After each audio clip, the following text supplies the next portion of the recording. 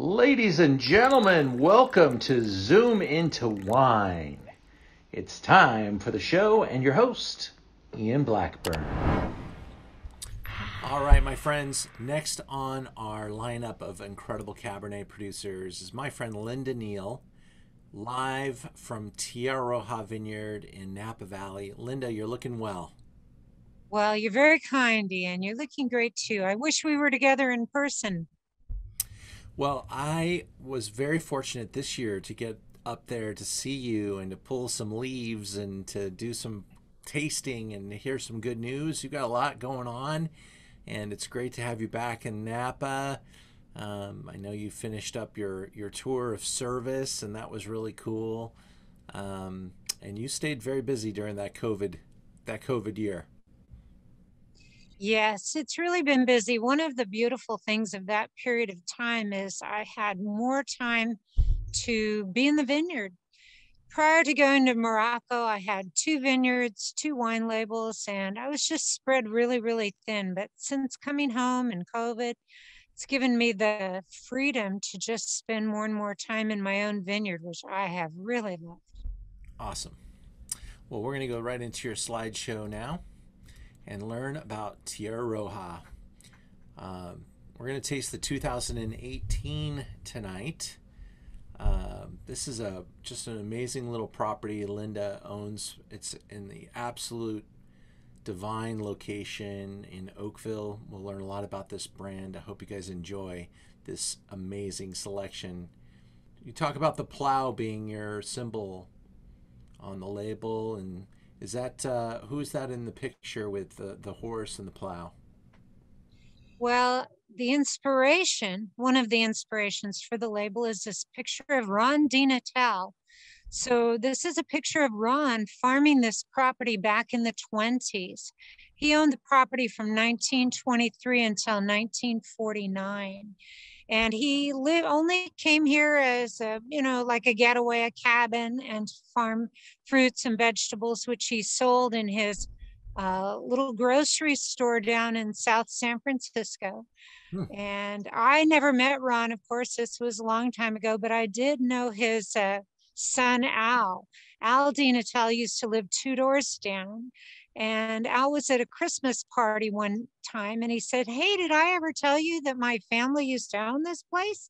And I said, No. And he said, I've got some pictures. And I took the drink out of his hand and said, Go get them. and he did. He went home, and this was one of the fantastic pictures that he brought back for me his yeah, dad farming. Totally tell that's your property.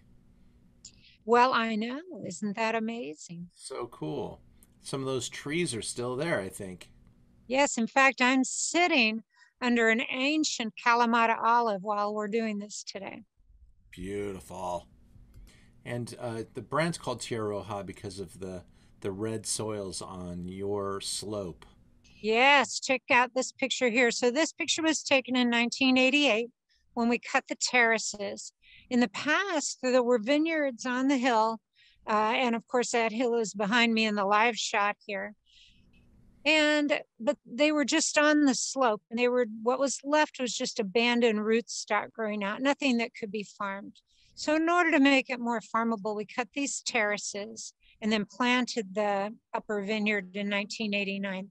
The lower vineyard, which, uh, oh, I don't know, can you see my little cursor there?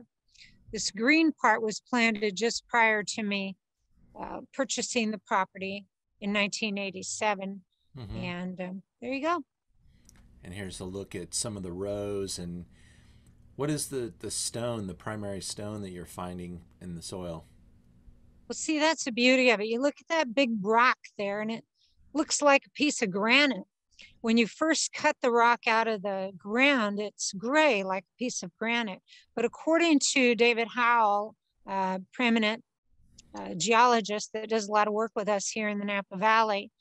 This is just one gigantic piece of lava that's been decomposing for millions of years. So as soon as you break the rock open, it starts to rust. And as that rust sloughs off, that becomes the iron rich soil. Huh. And, you know, there's a couple rules in the wine industry, and the restaurant industry too. Uh, location, location, location, and uh, take a look at the neighborhood here. Um, Tierra Roja, right next to Rudd, across the street, and right kind of behind you is Dalla Valle. Uh, just to the south, you've got Joseph Phelps on your side of the street with the Backus Vineyard, and across the street is Tench, really, really awesome fruit. And Tench's next door neighbor, not too bad either, with Screaming Eagle. It is a great neighborhood. So I'm the uh, the littlest, certainly, of all of these, you know, fabulous wineries, and perhaps the least known because of that. Um, but I think we hold our own with some delicious juice. And how many total acres is that, Linda? So the entire parcel is seven and a half, with less than five in vineyard. And you've been doing this a long time. You, this has been your life. This is not like you uh, were a tech billionaire and started up in Napa Valley. you uh, you literally went to school for horticulture back in college, right? So uh, to answer your question, uh, yes, a little bit of horticulture, both in high school, junior college, primarily business.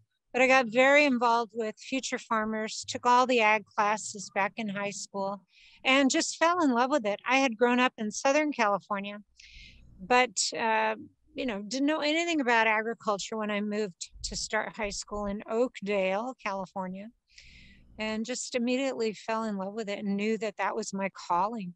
And here's your team in the vineyard?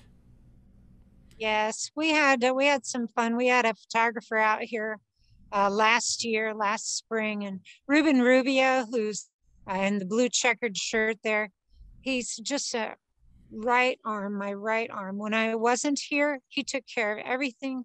When he, when we're both here together, we make plans together. We, you know, develop a team approach to everything that we do. I'm really blessed to have him in my life. And, and this year, you had the addition of a rock star winemaker to your lineup. So you're like a a small market baseball team that just uh, hired a Cy Young award winning pitcher. Uh, well, I am really excited. You know what was funny about that, Ian, is I didn't even know uh, what a rock star he was when I asked him to come and meet with me. We just have a mutual friend that's been trying to put us together for years. And so I what I was looking for was someone that I could really talk to that would have the same passion that would want to collaborate and so I, you know, I got a hold of him. We walked the vineyard, we met, we had coffee, we had dinner, had dinner with his wife, got to really know each other before making a decision. And I am so excited, so happy uh, for our working relationship. And then, as a bonus, I didn't even know until the day that you were at the house for the um, little premiere party that we had. I didn't even know until I got Nikita's description of of uh, Benoit's history that he already had 2,300 point wines under his belt. I was shocked. Yeah, yeah he is. Uh, he is a name to watch. Everybody, um, Benoit Touquette. Is am I pronouncing that Touquette. correct? Touquette. Cool. Well, tonight we're tasting the 18, and um, 18 is another great Napa Valley vintage. Any comments about uh, 18 before we sign off, Linda? Well, yes. I've already introduced it in Las Vegas and in Virginia Beach. And this vintage has received the most overwhelmingly popular reception of any vintage that I have had since maybe the 2004. So I'm really excited. Every restaurant that we went to, uh, whether it was a you know an old friend or a, a new friend, in Las Vegas. Every single one of them ordered it on the spot. They loved it. And so I'm really hoping that that translates into your customers loving it as well. Well, it's always a pleasure to have you on the Zoom and to taste your amazing wine. Thank you for the length of your of our friendship and our partnership and um, I really love your touch, Linda. So congratulations on all the the new energy and uh, I think all good things are coming for you. Well, Ian, and thank you for always putting on these beautiful first quality events. I always look forward to participating with you. Uh, and I hope we get together and do live events again soon. 2022, okay? Promise. Got it. See you then. All right, if not sooner. Thank you, Ian. Bye bye.